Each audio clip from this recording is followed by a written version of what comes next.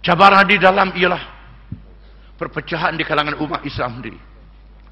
Bukan saja perpecahan mazhab, Sunni, Syiah dan Khawarij. Walaupun ulama-ulama menyatakan bahawa di sana masih ada Syiah yang Islam, Khawarij yang Islam. Hal sunnah adalah merupakan golongan majoriti umat Islam.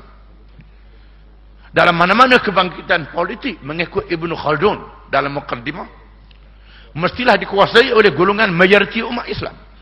Sebagaimana pelantikan khalifah selepas wafatnya Nabi sallallahu alaihi wasallam ialah Quraisy Abu Bakar. Kerana Abu Bakar adalah merupakan Quraisy kabilah yang paling berpengaruh di kalangan kabilah Arab. Begitulah kebangkitan dunia Islam mestilah kebangkitan melalui Sunni, kita boleh diperhatikan. Dengan sebab itu revolusi Iran untuk Iran. Dia tak boleh membina kekuatan dunia Islam. Unsur mazhab satu unsur yang sangat penting. Kita kena sedar. Di samping fiqh-fiqhnya yang terhad. Kita perlu fiqh Islam yang meluas yang boleh menyelesaikan masalah semasa. Tak boleh terikat dengan mazhab. Iran diletak dalam perlembagaan dia Syiah adalah mazhab negara.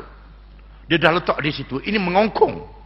Mengongkong dia sendiri untuk terbuka. Untuk menyelesaikan masalah dengan cara lebih luas ini kelemahan-kelemahan yang kita kena sedar. Ha? Kelemahan. Kemudian penyebaran mazhab. Dalam wacana di Iran. Dengan tegas saya mengatakan. Di hadapan pemimpin pemimpin Iran. Saya mengatakan bahawa. Saya tidak mahu bermujamalah. Tak mahu bermujamalah. Ha? Di depan mereka saya mengatakan bahawa. Menggunakan revolusi untuk menyebarkan mazhab. Adalah satu kesilapan yang besar. Kepada revolusi Iran. Yang akan membawa kesan yang negatif kepada revolusi itu sendiri dan kepada kebangkitan umat Islam. Dengan sebab itu perlu tenaga-tenaga ulama untuk menyelesaikan masalah. Ittihad alami ulama muslimin, persatuan ulama Islam sedunia, majma' takrib dan majma' fiqh perlu menyelesaikan masalah ini.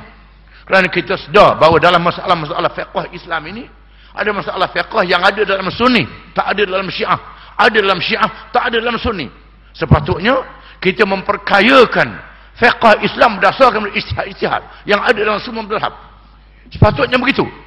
Bukan secara fanatik, secara menghentam di antara satu sama lain. Kita kena sedar. Alhamdulillah, Syekh Yusuf Qardawi telah menulis kitab Fiqhul Jihad. Dalam kitab ini beliau telah mengambil semua mazhab-mazhab ini sebagai satu pendekatan yang sangat baik.